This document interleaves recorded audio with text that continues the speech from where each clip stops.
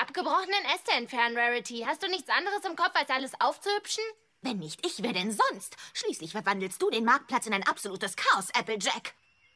Aber der Sturm wird ein viel größeres Chaos anrichten, wenn wir die abgebrochenen Äste nicht entfernen und sie uns Ponys auf den Kopf fallen.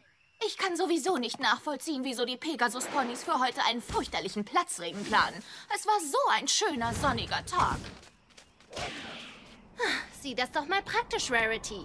Letzte Woche haben sie vergessen, für Platzregen zu sorgen. Deshalb muss der Regen in dieser Woche unbedingt nachgeholt werden. Oh nein, meine wunderschöne Man-Frisur wird ruiniert. Wenn du dich beeilt hättest, wärst du mit der Arbeit schon fertig. Es regnet viel zu stark. Hilf mir. Äh. Da. Stell dich da vorne unter. Ich mach das hier fertig.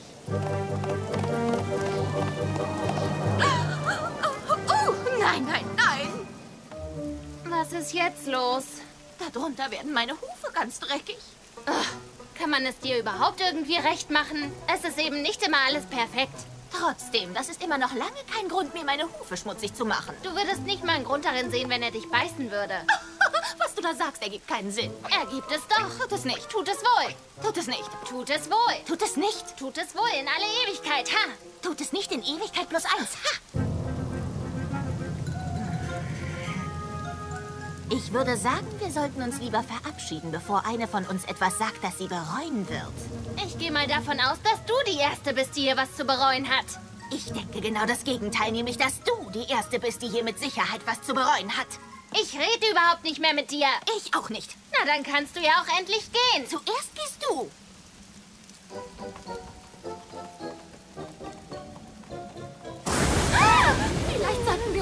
Lieber zusammen einen Unterschlupf suchen. Ja, da hast du absolut recht. Jetzt aber schnell.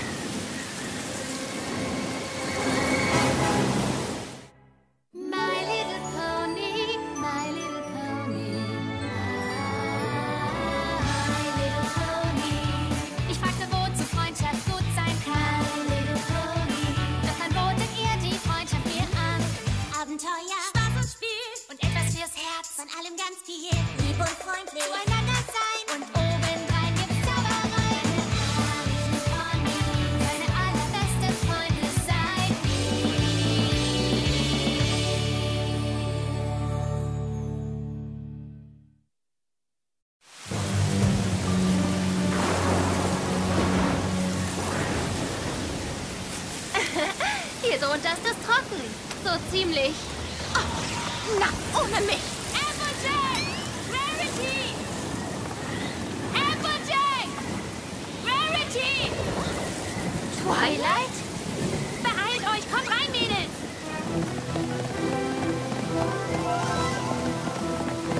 Wow, Momentchen. Ist es im Inneren eines Baumes bei einem Gewitter wirklich sicher? Ja, natürlich, wenn man einen magischen Blitzableiter hat, so wie ich. Jetzt kommt schon rein. Vielen Dank, Twilight, dass wir bei dir Unterschlupf finden dürfen. Ja, herzlichen Dank für die Gastfreundschaft. Äh, bist du vielleicht so höflich und gehst dir die Hufe waschen, bevor du reinkommst?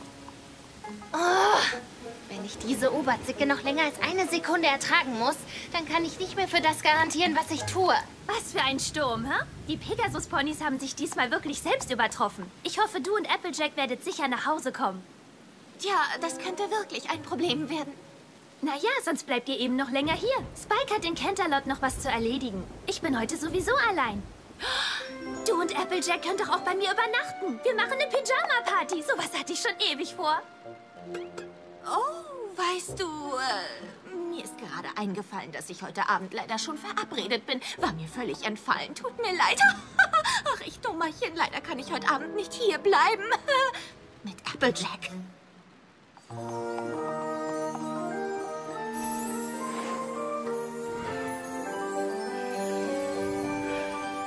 Pyjama-Partys für Anfänger. Was du schon immer über Pyjama-Partys wissen wolltest, aber bisher nicht zu fragen wagtest.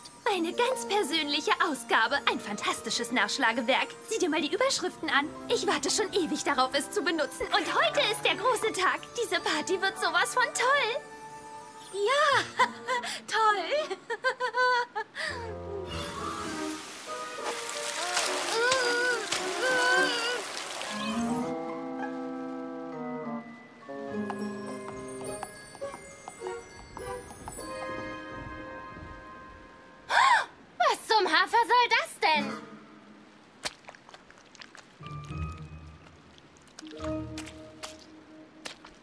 jetzt werde ich aber langsam sauer. Ich soll mir den Dreck von den Hufen waschen. Und ihr schmiert euch inzwischen Schlamm ins Gesicht? Herzchen, das ist eine Schlammmaske. Sie erfrischt und sie verjüngt dein Fell. Wir tun so, als wären wir im Schönheitssalon. Das steht doch im Buch, also halten wir uns dran. Pyjama-Partys für Anfänger, was du schon... Oh, hey, äh, ich bin schon ganz schön spät dran. Ich sollte schnellstens nach Hause gehen, sonst fangen sie an mit, äh, irgendwas. Gute Nacht. Vielleicht bleibe ich ja doch noch ein Weilchen. Hurra! Pyjama-Party!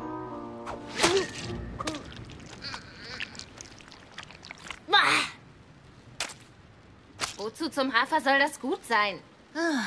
Natürlich, um Schwellungen und Augenringe zu reduzieren. Schwellungen? Was für ein Blödsinn.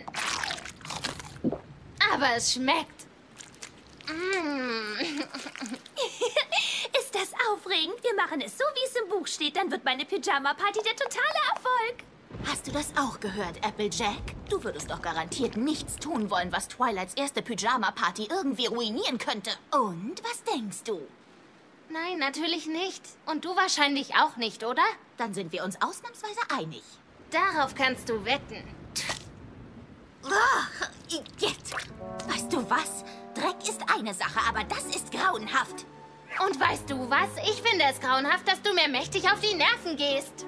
Wie gut, dass ich normalerweise mit jedem Pony klarkomme, egal wie schwierig es auch ist. Ach so, ja? Und ich bin so ziemlich das unschwierigste Pony, das es gibt. Unschwierig ist gar kein Wort. Das wird die beste Pyjama-Party aller Zeiten. Yeah! Yeah.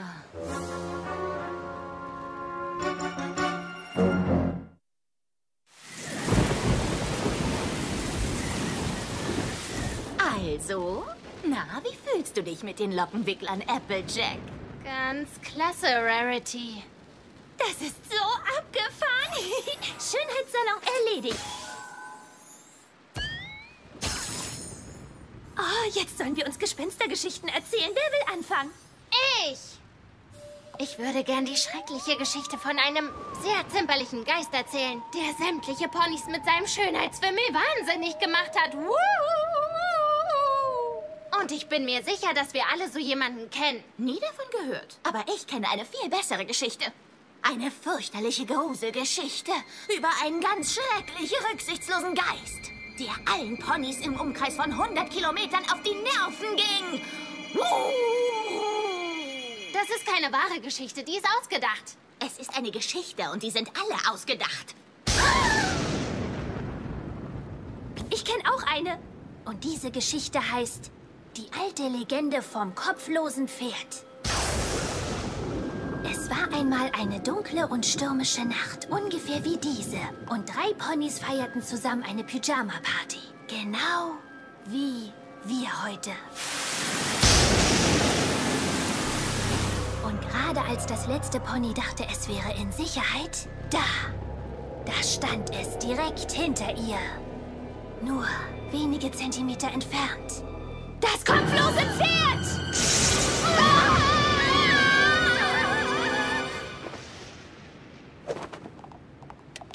Gespenstergeschichte erledigt. Und jetzt gibt's Marshmallows. Dann setzt du ein Marshmallow oben auf die Schokolade, genau in die Mitte. Das ist wichtig. Und danach legst du ganz vorsichtig noch einen quadratischen Cracker obendrauf. Und fertig. Tada! Und dann kann man's essen. Mm, mm, mm, mm. Du könntest dich zumindest mal entschuldigen. Das hatte ich gerade auch vor, aber du hast mich unterbrochen. Pardon. Marshmallows erledigt. Also der nächste Punkt auf unserer Liste ist Wahrheit oder Pflicht. Oh ja, dann verpflichte ich Applejack etwas rücksichtsvoller und ordentlicher zu sein. Oh ja? Gut, und ich verpflichte Rarity, ausnahmsweise mal locker zu sein und sich nicht an jedem Detail hochzuziehen. Das wäre was, hä? Allerdings denke ich, dass es einem gewissen Pony ganz gut tun würde, wenn es mal ein bisschen mehr auf Details achten würde. Und ich denke, dass ein gewisses Pony nicht ständig so ein Theater machen sollte. Dann würde es nämlich auch was auf die Reihe kriegen. Ähm, ich glaube nicht, dass dieses Spiel so funktioniert. Du musst ganz ehrlich auf die Frage, die dir gestellt wird, antworten oder eine Aufgabe erfüllen, die du bekommst. Ich verpflichte dich, sofort nach draußen zu gehen und dir deine durchgestylte Mähne durcheinander bringen zu lassen. Das musst du jetzt auch tun, so sind die Regeln. Ha! Na schön.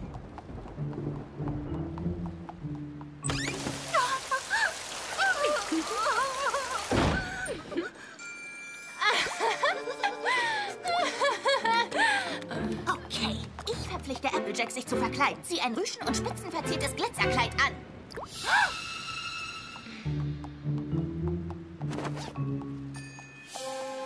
Zufrieden? Ja, und wie? Ähm, komme ich denn auch mal dran? Ich verpflichte dich, beim nächsten Rodeo-Nachmittag mitzumachen. Und ich verpflichte dich, beim nächsten Rodeo-Nachmittag nicht mitzumachen. Ich verpflichte dich, deine Mähne nicht zu bürsten, bevor du ins Bett gehst. Ich verpflichte dich, es ausnahmsweise zu tun. Ich äh, denke, wir können Wahrheit oder Pflicht abhaken und weitermachen. Mal sehen, was noch super Lustiges auf der Liste steht. Hm, was kann das bedeuten? Kissenschlacht? Oh, bitte, nein. Ich weigere mich, bei etwas derartig Geschmacklosem mitzumachen. Das ist unter meiner Würde. Oh. Jetzt reicht es.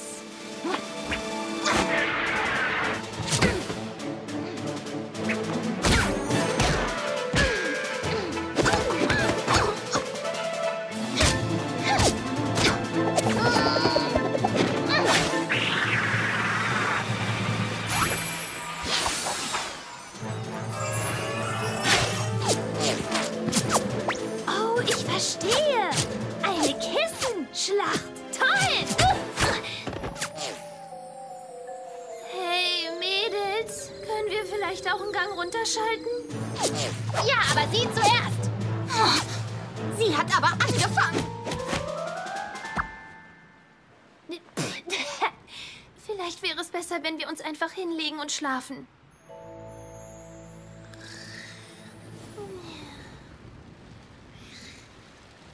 Kannst du deine matschigen Hufe auf deiner Seite halten? Meine Hufe sind nicht matschig. Aber vorhin. Und es kann immer noch Matsch dran sein. Da ist nichts dran. Sieh her. Oh. Wer von uns ist hier rücksichtslos? Ich will das Bett noch mal machen und die Decke vernünftig darüber legen. Geh runter. Hey!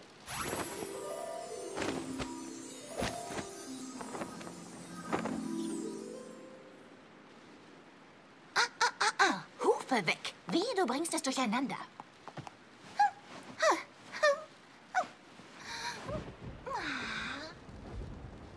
Nee, das wird nicht passieren. Achtung, Bombe! Hey! Du hast das mit Absicht getan. Ähm, ja. Steh auf, ich will die Decke glatt streichen. Ich kann dich nicht hören. Ich schlafe nämlich.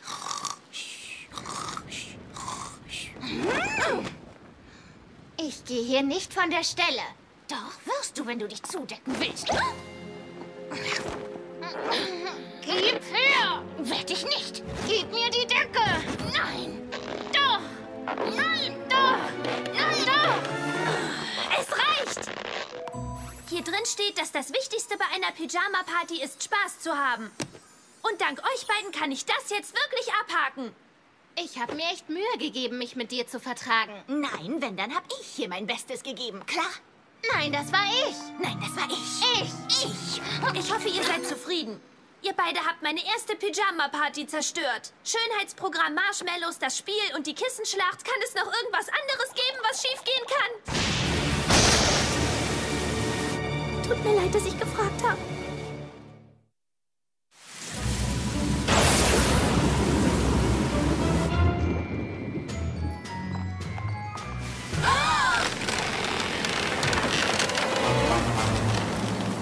Gesehen? Und aus diesem Grund holt man die abgebrochenen Äste von den Bäumen und hübscht sie nicht auf. Aber ich... Geh mir lieber aus dem Weg. Ich habe keine Zeit. Warte, halte auf! Ich warte nicht und ich werde auch nicht aufhören. Das, meine lieben Freundinnen, nennt man bei uns zupacken können.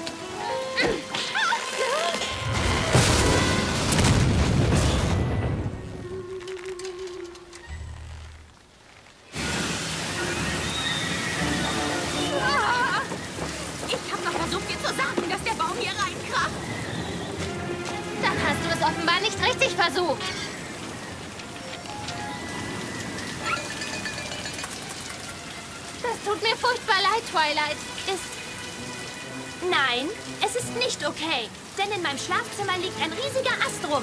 In meinem Buch steht nichts darüber, dass man einen riesigen Ast für eine Pyjama-Party braucht. Vielleicht habe ich die Stelle nur noch nicht gefunden. Was zum Hafer machst du da drüben eigentlich? Das Chaos eines gewissen Ponys beseitigen. Wer war's denn? Oh, ich weiß, das warst du. Wir müssen dringend etwas unternehmen. Backen, beste Freundin, Brüder. Hier steht nichts über Bäume und Äste drin.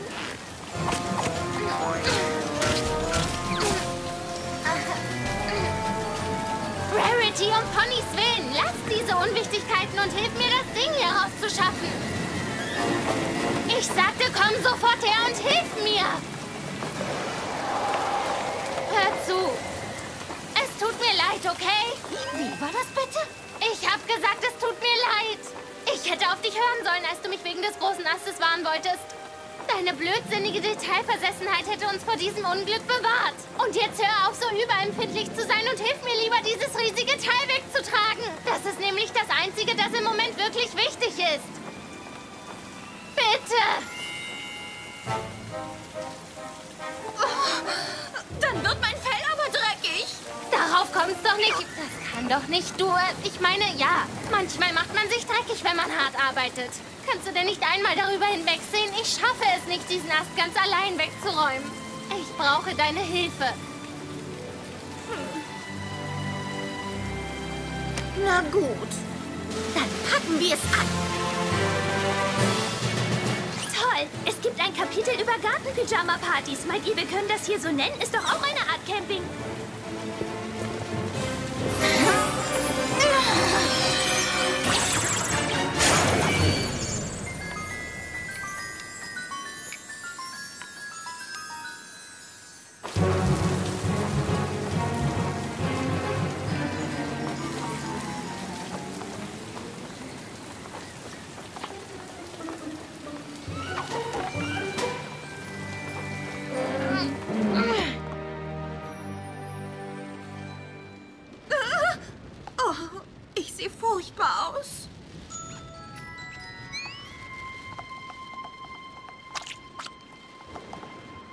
Besser?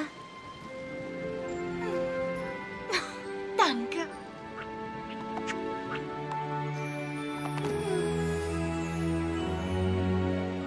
Oh, wie schön. Wo sind die denn hergekommen? Davon steht aber auch nichts im Buch.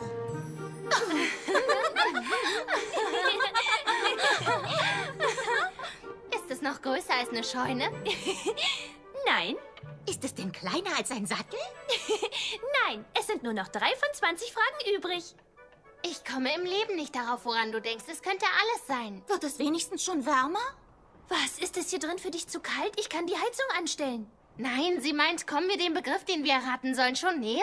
Oh, nein. Und eigentlich zählte das auch als Frage, also habt ihr nur noch zwei Möglichkeiten. Sechsbeiniges Pony mit lila getupfter Mähne und Sternschnuppen, die ihm aus den Augen schießen? Das durch die Luft fliegt und auf der ganzen Welt magische Eier versteckt? Das ist es. Echt? Äh, nein. das da. Aber ich bin so froh, dass ihr beide euch endlich wieder vertragt, dass ich euch unbedingt zusammen gewinnen lassen wollte. Seht ihr? So viel Spaß hätten wir schon die ganze Zeit gehabt. Wenn ein gewisses Pony nicht so zimperlich gewesen wäre. Wäre sie bestimmt nicht gewesen, wenn ein anderes Pony nicht so rücksichtslos wäre.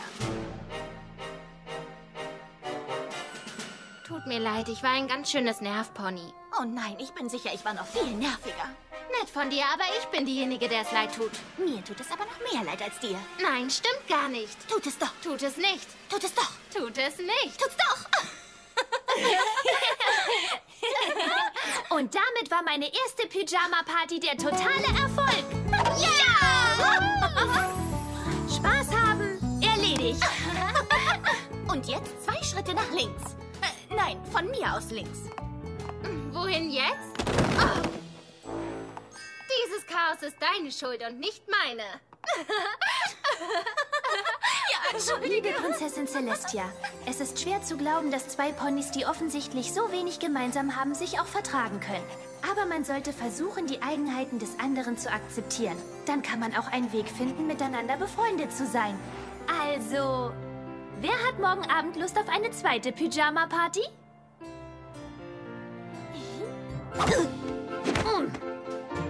Wär's mit nächste Woche Donnerstag? Oh, oder Samstag in zwei Wochen? Heute in einem Monat?